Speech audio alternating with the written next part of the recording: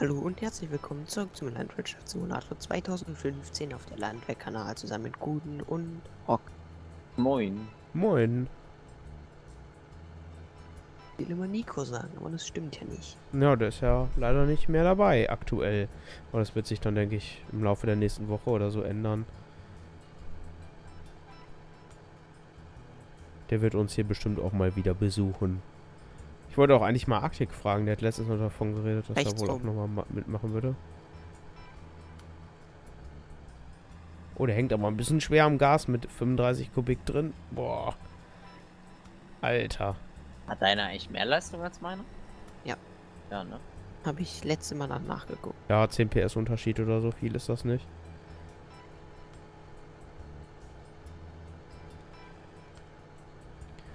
Der 6R ist einen Tacken schneller dabei. Aber Nico würde vermutlich sagen, dass der äh, 7000er E gedreht ist. Also, tu einfach so, als hättest du mehr Leistung. Dann fühlt es sich besser an, weißt du?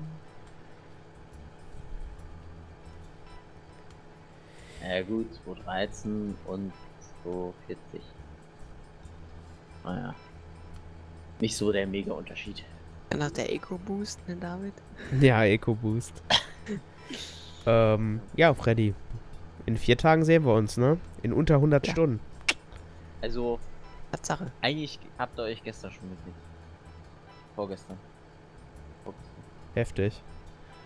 Ja, wenn diese Folge hier kommt, bin ich schon von der FarmCon zurück und ich habe mir den ganzen Montag quasi dafür reserviert, ein sehr, sehr schönes FarmCon-Video zu schneiden. Beziehungsweise genau genommen habe ich vor, zwei zu machen, aber dafür dann, dazu dann mit näher was, beziehungsweise ich will jetzt nichts versprechen, was ich vielleicht am Ende nicht halten kann, weil es doch am Ende anders läuft, als ich dachte.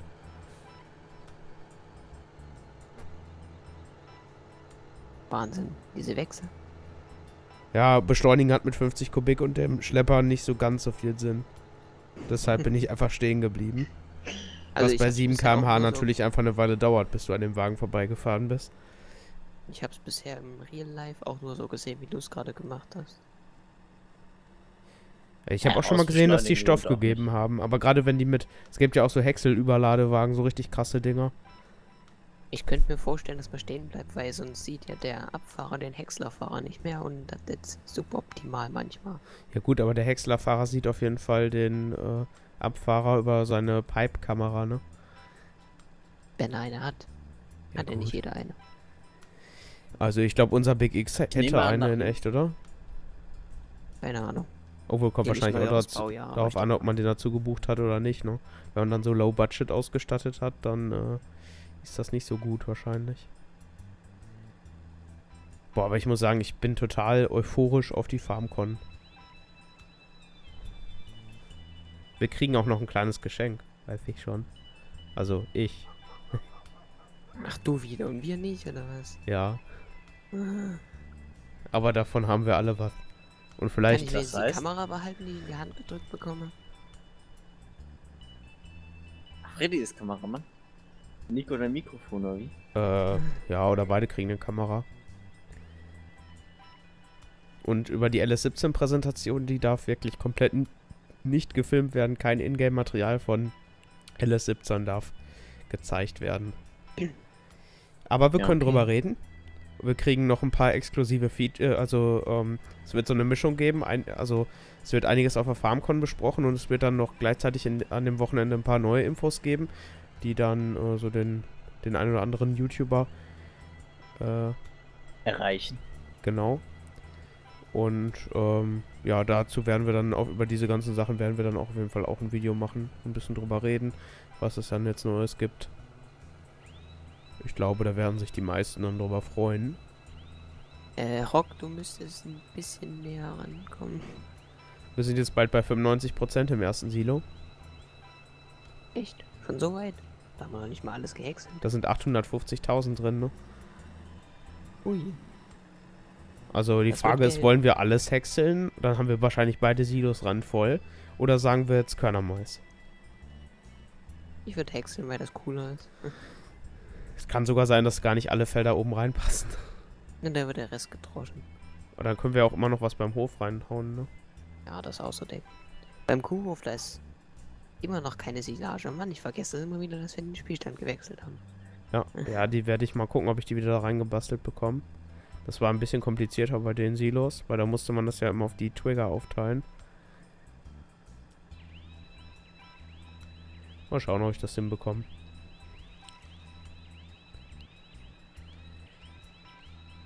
Ja, FarmCon. Ich freue mich richtig drauf. Ich mittlerweile auch. Äh, früher hast du gedacht, ja nee, die ganzen Deppen ja, sehen, nee, willst du nicht. Ja. Ne? Deppen.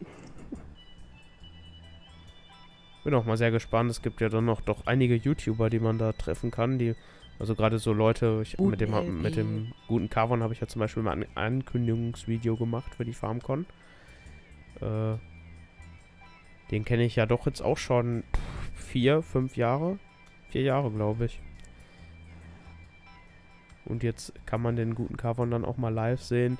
Genauso wie den McManias und den Sachsen Let's Player. Und Also die Bahn sollte ich reinkriegen. das geht sich aus, ja. Und ja, genau mich. Wer mich auch Nico. immer ansprechen möchte. Nico. Der größte YouTuber, den es gibt. Mhm. Sauersocke ist, glaube ich, auch am Start, was ich gehört habe. Der Ich nimmt da nicht, dass der Gameplay-Material auf. Der ist der Einzige, der LS17 präsentieren darf. Für seine geilen Wahrscheinlich, so, Montagen. wahrscheinlich fünf Minuten, bevor man es eigentlich dürfte. Ja, ich bin mal gespannt, wie das so wird mit dem LS17er. Ich glaube, dass es vor allen Dingen vi- viele, viele, viele kleine Sachen gibt, die sich ändern werden, zusätzlich zu den großen Sachen. So klingt das zumindest, was ich so bis jetzt gehört habe. Weit ist da vorne los? Kriegst du das noch rein? Äh, ja, ja, Ja. 90. Du 91. kannst dich an äh, drei Viertel der Bahn stellen. Der nächsten.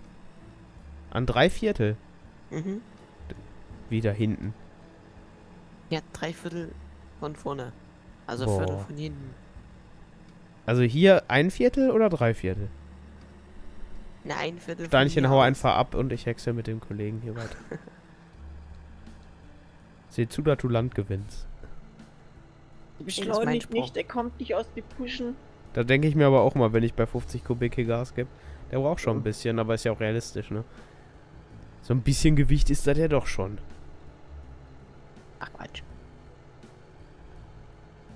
David, die Anhängserklappe hoch. Wieso? Weil sonst mehr, weil, weil dann mehr reingeht. Nee, die muss runter sein, damit ich reingucken kann. Eigentlich hast du ja eine Waage drinne bei den Bei der modernen. Ortmann. Ja. Da gibt's ja auch schon Wurde mal schnell Stress, wenn du so überlädst, ne? Was? Wurde mir zumindest so beigebracht. Ja, ist aber auch, glaube ich, eine Sonderausstattung, die wieder nicht jeder hat. Kann ich nicht sagen. Ja, aber so wahnsinnig viel wird es nicht mehr kosten. Ja, doch mindestens 12.000 Euro. Naja, wird schon ein paar Tausender kosten, schätze ich mal. Der muss dann irgendwie über die Achsen vom Anhänger das Gewicht ermitteln und dir das dann dann vorne im Terminal anzeigen. Also ist schon ein bisschen Technik, die da rein muss. Ja, aber die Sensoren kosten, naja, ein bisschen was, aber ansonsten. Ja, Ja, dann muss kommt ja auch eine gewisse Haltbarkeit haben, ne? Ja, okay, klar, aber. Und ich glaube auch, dass es von der Berechnung her relativ schwierig ist. Du hast Stützlast auf den Schlepper ein bisschen. Ja, die kannst du ja auch messen. Ja, die müsstest du messen und jede einzelne Und von den drei Achsen, Achsen. Und dann ziehst du noch das Gesam äh, das Leergewicht des Hängers ab und gut ist. Naja, eigentlich müsstest du es ja wieder Ohne. mitrechnen, wegen der Begrenzung, wie viel Tonnen du auf der Straße haben darfst, ne? Bei einem 50 Kubik kann das ja bald knapp werden. Beim 45er noch? Na gut, ne, äh, weniger, ja, klar. Erst denken, dann reden. Wobei, ähm, warte mal, was hat. Ja gut, deiner ist generell relativ schwer, ne? Du hast doch den Abschieber, ne? Ja. Aber dieser Abschiebewagen, das war auch so eine Sache. Als der, als der 15er kam, hat man die schon extrem gefeiert, ne? Endlich Abschiebewagen. Mhm. Mittlerweile finde ich die gar nicht so geil. Ich habe sie auch eigentlich nicht so oft benutzt. Ich finde diese Acroliner Drehschemel eigentlich am besten. Also allgemein Drehschemel. Lassen sich zwar bekackt rückwärts fahren, aber egal. Muss man ja nicht. Hm. Musst halt nur wissen wie, ne? Ja, aber es. Ja, schwierig.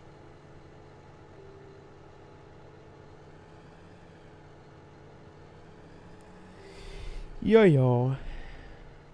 Ich glaube, zu diesem Feld muss ich auch nicht mehr zurückfahren.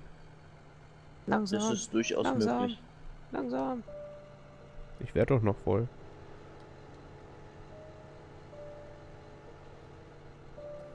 Da darf der Rock noch einmal hin und dann ist gut.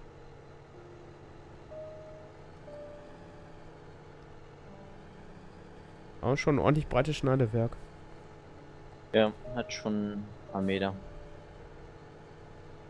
Was machst du da? Warten, bis du vorgefahren bist. Passt doch alles. Ja, nee. Doch. Alles gut. Okay. Ich werde die ganze Zeit voller.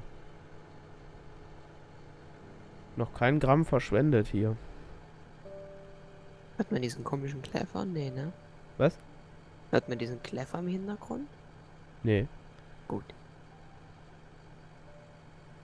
Boah, Nämlich heute ist so eine eine- Fahrschule vor mir gefahren, das ging gar nicht. Sorry, also ich bin ja eigentlich ziemlich äh, Tolerant. tolerant, weil ich mir immer denke, naja, die hat ja jeder schon mal. Aber die hat mir halt drei Rotphasen gekostet an einer Ampel. Weil die auf der. Rechtsabbiegerspur halt, äh, es ging zu ihrer Verteidigung gesagt ganz leicht bergauf, vielleicht so 2%. Aber auf jeden Fall anfahren am Berg war wohl nicht so ganz die Stärke von der jungen Dame. Auf jeden Fall hat die halt irgendwie viermal abgewürgt. Und hat dann halt auch immer ein bisschen gebraucht, bis sie es wieder versucht hat. Und dann war halt wieder rot. Oh Mann, ich war schon stolz auf mich, dass ich. Wobei das genau Witzige war halt, am. Anfang stand sie auf dem zweiten Platz. Und nach der zweiten Rotphase war sie dann auf dem ersten quasi. Ähm, und das hatte eine relativ, also die Ampel hatte bestimmt eine Minute Grünphase. Es war jetzt nicht so, bing, einmal rüber und gib hin. Sondern man hatte schon gut Zeit, aber die hat halt trotzdem drei oder vier Phasen gebraucht. Bis die es um die Ecke geschafft hat. Und dann wurde es nochmal spannend, weil dann aus dem ersten raus, ich bin gefühlt noch äh, 200 Meter mit 15 km/h hinterher gefahren. Das war schon mit das heftigste Fahrschulerlebnis, so was ich vor mir fahren hatte, haben tu.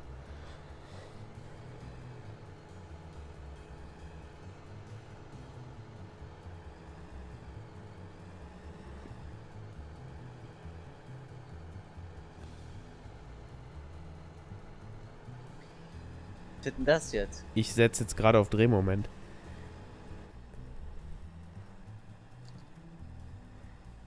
Hey, ich bin schon bei 37. Oh, Es geht Mhm. bergauf. 32, Ja gut, mit, 30. mit dem Schwung krieg- kommst du da gut hoch. Ja, ein bisschen langsamer wirst du schon. Ja, ja, aber du kommst immerhin schön hoch. Hm, es könnte sein, dass ich das Ding jetzt voll kick, ne? Ja. Weiß nicht, wie es mit dem Verlichten ist. Musste schauen. Ja, verdichten werde ich dann noch eben. Kann der Freddy nach dem, Bro äh, nach dem Feld mal eben so eine kleine Stulle sich rein dinieren.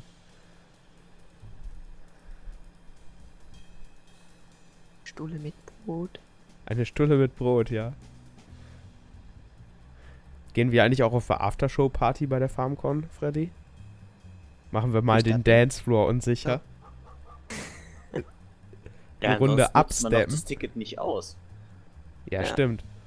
Ja, ne? Man muss Also schon, hier schon- sämtliche Vorteile nutzen. Ja. Aber hallo. Mindestens.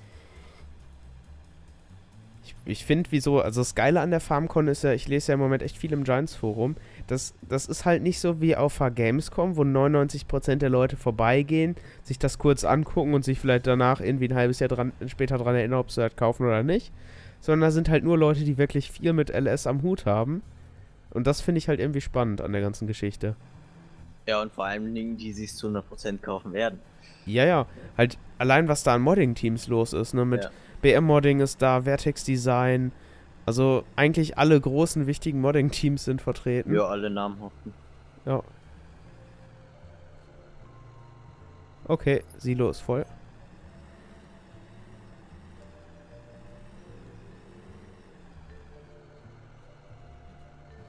Welches Feld geht's danach? Ähm, könnt ihr euch aussuchen, am besten da das lange, Das ist schmale, ne? möglichst weit weg. Was?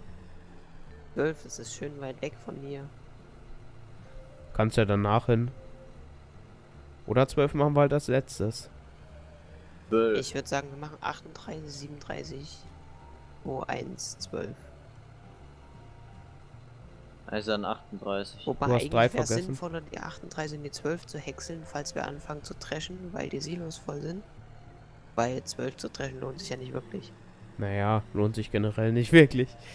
Aber Ja doch, Dann- die 1. Dann lassen wir reicht es ah, mit 38 beginnen. Boah, jetzt habe ich so eine miese Mücke direkt vom Monitor. Ey, geh weg da. Aber ich würde sagen, wir hören dann wieder morgen voneinander. Bis dahin. Ciao. Tschüss. Tschüss.